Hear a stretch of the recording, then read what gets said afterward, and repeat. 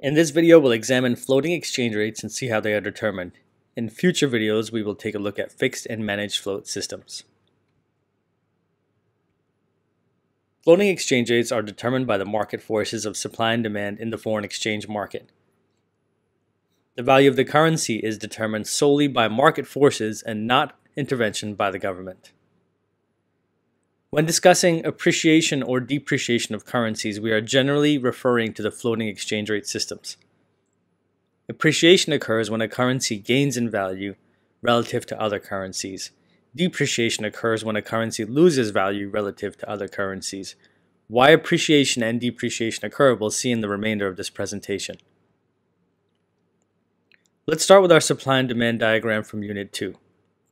But we'll make some slight adjustments for foreign exchange considering the market for US dollars being purchased by people or institutions from the UK. From Unit 2, we can recall that market forces determine an equilibrium price and equilibrium quantity for a good. Next, we'll see how this applies to the market for dollars. We change the y-axis label from price to exchange rate because the exchange rate represents the price of dollars in pounds. We change quantity to quantity of dollars to clarify the currency market we are discussing. Finally, we change equilibrium price, P star to ER star to reflect the equilibrium exchange rate. If you're drawing a diagram for exchange rates, I highly encourage you to use this format. We'll examine changes in demand. In this example, we are simplifying the foreign exchange market for dollars to two countries, the US and UK. Since we are discussing the market for dollars, the UK is on the demand side.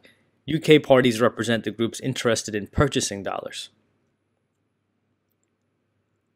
Factors that affect the demand for a currency can also influence its supply.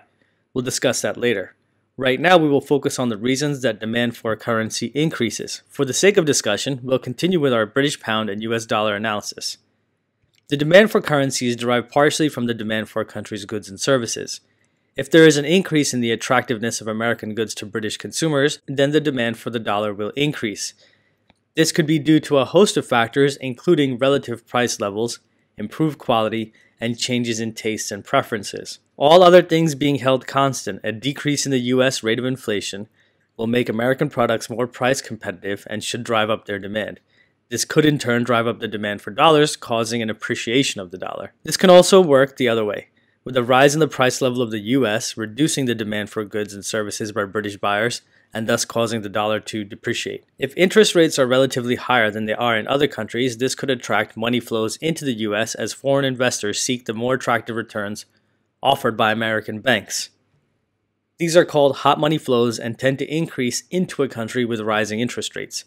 Deposits in American banks are predominantly made in dollars, and British depositors will have to change their pounds to dollars in order to deposit them in the US. In general, you can say that interest rates have a direct relationship with exchange rates.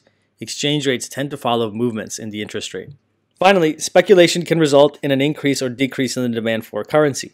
For example, the Chinese government devalued the Chinese RMB in the past two years, and this has led some Chinese citizens to purchase and hold US dollars. They view the dollar as more stable and possibly seek to benefit from what they perceive as a long term opportunity of holding dollars in order to buy RMB back at a favorable rate in the future. If the Olympics are being hosted in the United States, the increase in tourists from the UK to the US will increase the demand for US dollars as British tourists exchange their pounds for dollars in order to purchase more American goods and services during their travels to the US. This will shift the demand for dollars to the right, causing the American currency to appreciate. It will also cause an increase in the equilibrium quantity of US dollars in the foreign exchange market. Suppose now that there is a decrease in interest rates offered by American financial institutions for depositors.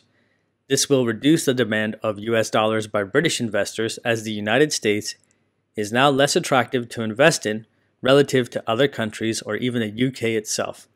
This reduction in the demand for the dollar causes it to depreciate and the equilibrium quantity exchanged to decrease.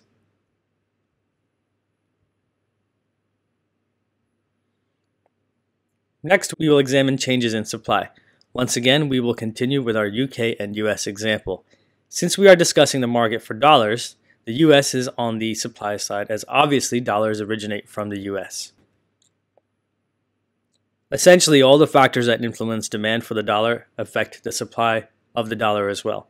To understand why this is, you have to remember that the demand for the dollar is met by supplying the pound. Therefore, if Americans increase their demand for the pound, they must supply dollars in exchange. The same factors we listed earlier can be used to apply to Americans supplying the dollar on the foreign exchange market, too. If Americans demand British goods and services, they need pounds.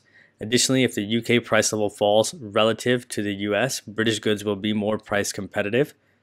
If it's more rewarding to save money in the UK, then Americans will increase their deposits at UK financial institutions. Finally, if Americans believe the UK pound is currently undervalued and will rise in value in the future, they may choose to buy it today in order to benefit from its rise in the future. In this example, Americans are either increasing or decreasing their supply of dollars in the foreign exchange market. Imagine there is a sudden increase in the demand for British goods and services by Americans. Americans will increase the supply of dollars on the foreign exchange market in order to buy pounds, and the dollar will depreciate against the pound. This will also cause an increase in the equilibrium quantity of dollars in the foreign exchange market.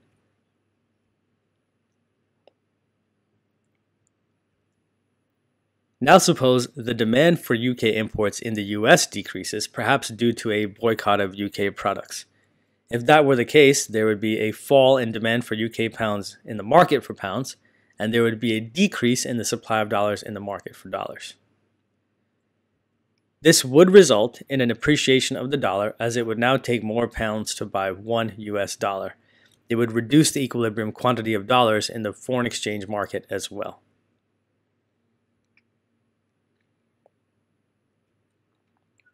Thanks for watching this video on floating exchange rates. As always, I hope you have found it helpful. If you have any question, you can leave them in the comments below or email me at enhancetuition at gmail.com. You can also tweet me at enhancetuition.